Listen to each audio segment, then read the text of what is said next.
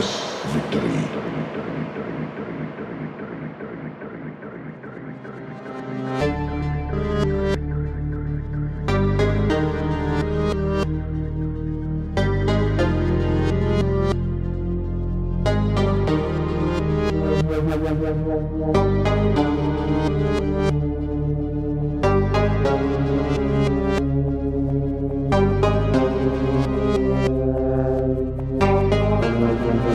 Got a guy with things coming out of his hand. We got another guy who freezes stuff.